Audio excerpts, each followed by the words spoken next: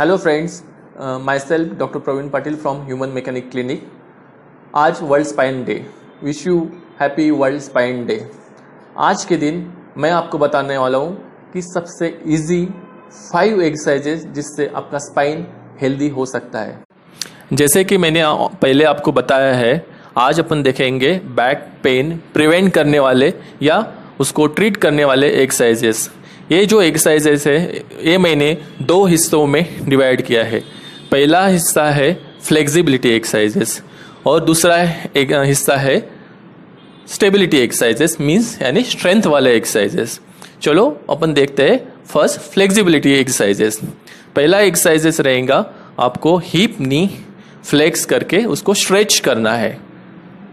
आपको इसमें क्या करना है, आपका जो नी है 90 डी नाइन्टी डिग्री होल्ड करके, उसको पीछे से ग्रैप करके, जो नी है आपके शोल्डर तक लेके जाके, उसको होल्ड करना है।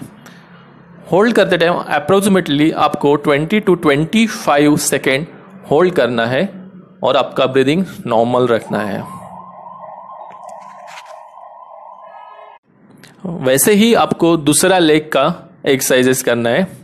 आपको हिप नी बेंड करना है, दोनों हाथों से नी के पीछे पकड़ना है और स्ट्रेच करना है टूवर्ड आपके शोल्डर को। वापस 20 टू 30 सेकेंड होल्ड करना है। ऐसे आपको तीन तीन बार दोनों पाँव का करना है। दूसरा एक्सरसाइज करेंगे, दोनों नी बेंड करना है और दोनों नी आपके शोल्डर तक पुल करना है। इसमें आपको अच्छे से आपके लोअर बैक को स्ट्रेच आएगा। ये भी एक्सरसाइजेस आपको 20 टू 30 सेकेंड होल्ड करना है, दो से तीन बार करना है। अभी तीसरा एक्सरसाइज हम फ्लेक्सिबिलिटी के लिए देखेंगे, जो अपन हिप हिप मसल को स्ट्रेच करने वाले हैं। क्या करना है, आपका राइट लेग बेंड करके, उसको क्रॉस करके रखना है। और दोनों हाथों से घुटने को पकड़ के आपके चेस्ट की तरफ़ पुल करना है। और वापस 20 टू 30 सेकेंड्स आपको होल्ड करना है। ऐसे आपको दूसरा लेग का भी करना है। नी बेंड करके आपको अपोजिट नी के तरफ़ क्रॉस करके रखना है और स्ट्रेच करना है। और अगेन 20 टू 30 सेकेंड्स आपको स्ट्रेच स्ट्रेच करना है। रिलैक्स अभी अपन देखने वाले स्पाइन को स्ट्रेंदन करने वाले एक्सरसाइजेस यानी स्टेबिलिटी एक्सरसाइजेस इसके लिए मैं चूज़ कर रहा हूँ quadruped position quadruped position यानी कैट वाला पोजिशन आप कैट वाला पोजिशन पे आ जाइए। ये पोजीशन में अपन क्या करने वाला है कि आपका जो स्पाइन है मैक्सिमम न्यूट्रल पोजीशन में रखने वाले हैं। न्यूट्रल पोजीशन यानी क्या? जो कमर का हिस्सा में गड्ढा जैसा फील आना चाहिए, हल्का सा। जो ऊपर वाला जो चेस्ट वाला हिस्सा है, उसमें थोड़ा सा ऊंचाव आना चाहिए। आपका जो नेक है, नेक आपका न्यूट्रल पोजीशन में आना चाहिए। परफेक्ट। हम्म? अभी आपको क्या करना है, जो तो आपका कमर वाला हिस्सा है, थोड़ा सा ऊपर करना है, हल्का सा। जो ज़्यादा गड्ढा है, आपको गड्ढा करेक्ट करना है। यस मीन्स कमर वाला हिस्सा आपका न्यूट्रल पोजीशन में आ गया है। अभी आपको क्या करना है, जो आपके दोनों लेग्स है या जो अपन शिन बोन बोलते हैं, वो हिस्सा दबा के रखना है। और दोनों हाथ के जो पंजे है, वो दबा के रखना है। अभी इसके साथ आपको नॉर्मल ब्रीदिंग करना है। नॉर्मल ब्रीदिंग ये यूजुअली आपको एब्डोमेन रीजन से करना है, पेट वाले हिस्से से करना है, ना कि आपके चेस्ट वाले हिस्से से करना है। और ये पोजीशन आपको मिनिमम 20 टू 30 सेकेंड्स या उससे ज़्यादा आप होल्ड करके रखना है। ध्यान रहिए, आपको, आपका ब्रीदिंग स्टॉप नहीं करना है। ब्रीदिंग आपको रिलैक्सली पेट के हिस्से से कंटिन्यू करना है। ये एक्सरसाइज से आपको स्पाइन को, के जो मसल को एक स्टेबिलिटी आती है, उसकी स्ट्रेंथ बढ़ती है। अभी अपन दूसरा एक्सरसाइज देखने वाले हैं। जो कि बैक स्ट्रेंथन करने वाला है। सबसे आसान एक्सरसाइजेस है। आपको सीधा लेटना है। आप ये नीचे मैट लगा के कर सकते हैं। एक छोटा स्टूल लेके। आपको क्या करना है? एक स्टूल लेके आपके जो एंकल या काफ मसल के नीचे रखना है। ऐसा पोजीशन एडजस्ट करना है कि आपका हिप और नी 90 डिग्री में आना है। हम्म? यानी नी जो है, आपके एग्जैक्टली हिप के ऊपर आना चाहिए। वैसा पोजीशन एडजस्ट कीजिए।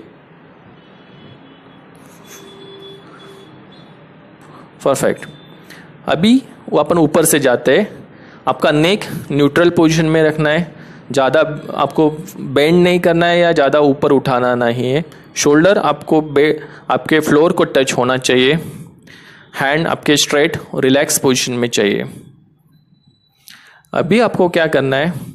इसके साथ आपको ब्रीदिंग कंटिन्यू करना है। जो ब्रीदिंग आपको आपका एब्डोमेन एरिया से होना चाहिए, यानी पेट वाले एरिया से होना चाहिए। ऐसे अपन 10 सेकंड तक ये नॉर्मल ब्रीदिंग का प्रैक्टिस करेंगे। इसमें आपका ब्रीदिंग बिल्कुल भी चेस्ट एरिया से नहीं चाहिए। एक बार आपका ब्रीदिंग आपके एब्डोमेन रीजन से, यानी पेट से आना शुरू हो गया तो आपके दोनों हाथ ऊपर करना है।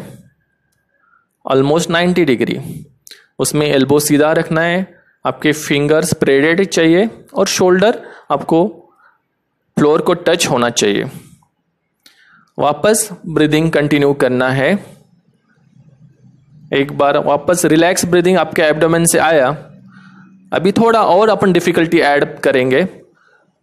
दोनों पैर वो आपके स्टूल से थोड़ा सा ऑफलोड करेंगे। देखिए कितना डिफ़िकल्ट आपको लग रहा है। आपके मसल जो स्पाइन के चारों दिशों से मसल को स्ट्रांगली एक्टिवेट हो गए हैं। अभी आपको इसके साथ वापस आपका नॉर्मल पेट वाले हिस्से से ब्रीदिंग कंटिन्यू करना है। ये पोजीशन आपको एटलीस्ट वापस 20 सेकेंड या उससे ज़्यादा कोशिश कीजिए। या आपको लगता है कि मैं थक गया हूँ या थक गई हूँ, तब तक आपको होल्ड करना है। याद रखिए, आपको ब्रीदिंग होल्ड नहीं करना है। आपको रिलैक्स एब्डोमेन ब्रीदिंग कंटिन्यू करना है। जब आपका हो गया है तो एक पाँव नीचे वापस स्टूल पे रखिए। अगेन दूसरा पाँव नीचे रख दीजिए और रिलैक्स हो जाइए। अभी जो आपने एक्सरसाइज देखे हैं, आप घर पे करना स्टार्ट कीजिए। बिलीव मी ये एक्सरसाइजेस आपको बैक पेन प्रिवेंट कर सकता है और कुछ हद तक उसको ट्रीट भी कर सकता है। अगर आपको लगता है आपका पेन अभी भी कम नहीं हो रहा है तो आप ह्यूमन मैकेनिक क्लिनिक जो कोरेगांव पार्क पुणे में स्थित है, वहाँ आके आप विज़िट कीजिए। Human mechanic clinic highly equip clinic है। डेफिनेटली आपका प्रॉब्लम वहाँ सॉल्व हो जाएगा। ये वीडियो अच्छा लगा ना तो जल्दी से ये वीडियो लाइक कीजिए सब्सक्राइब कीजिए और आपके दोस्तों के साथ शेयर कीजिए। अगर आपको कोई क्वेश्चंस है तो कमेंट बॉक्स में हमें बताइए, हम सॉल्व करेंगे। धन्यवाद।